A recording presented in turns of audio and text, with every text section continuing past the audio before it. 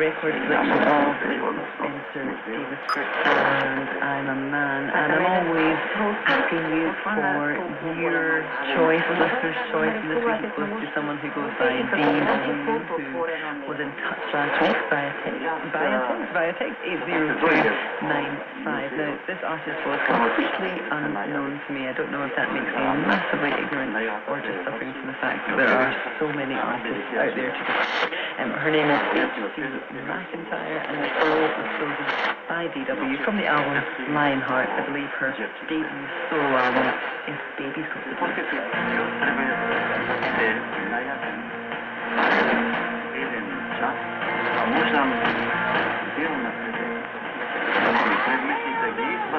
Got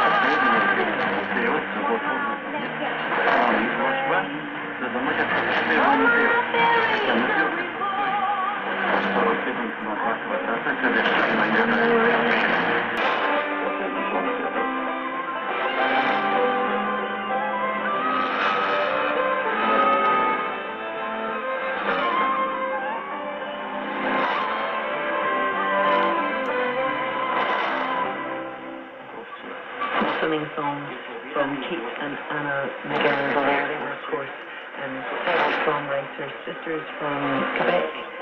Anna McGarrigle still alive, McGarrigle, mother of Rufus Wainwright, Martha Wainwright, sadly no longer with us. I mean, she had two hundred I don't know if I ever mentioned that I was looking at this one, Richard Conduct, and